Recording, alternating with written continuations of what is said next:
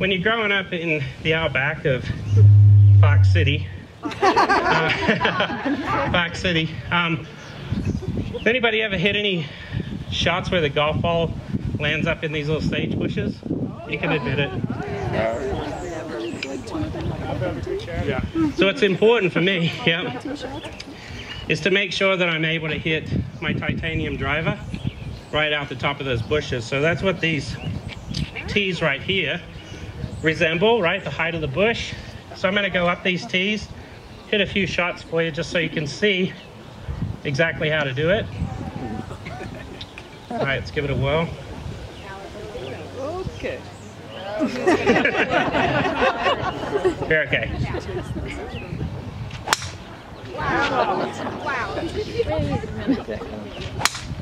Whoa. Perfect.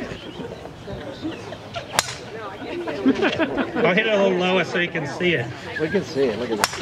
Everybody see that?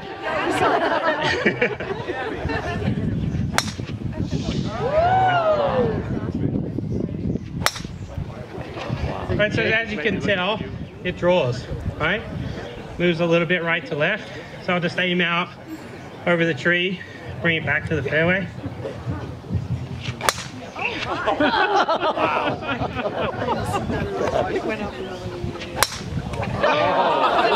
Right back in the middle, right?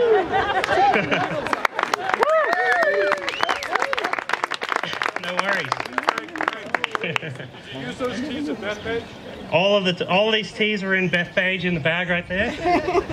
Um, I did get some people ask me if I could hit a moving ball and if it was legal, so I don't know. We'll have to try it. but as you can see, that ball turns more from right to left because what happens is as the club goes up, this is a 10 and a half degree driver in the playing position. But if it's 10 and a half this way, that 10 and a half degrees is pointed left. See that? So when you're actually playing on 16 and you hit your ball up in the rough on the right, that's why it typically hooks a little bit off that lie. It has a lot to do with the angle of the club. so what you need is a specially designed driver. this way, from this playing position, you can play straight to a little bit of a fade. So we'll give this one a give this one a whirl. Dead straight. Little fade Yeah. off the bunker. no worries, right? Let's try another one. See if we can straighten it out. There we go. Not too shabby.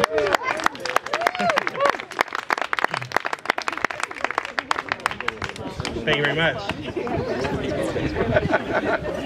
Now, when you're out playing and you get that dog leg to the right, it's important off the high tee to have an appropriate driver.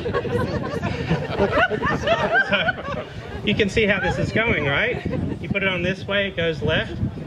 Put it level, it goes straight. Now this is going to be a nice slice. So give this one a shot.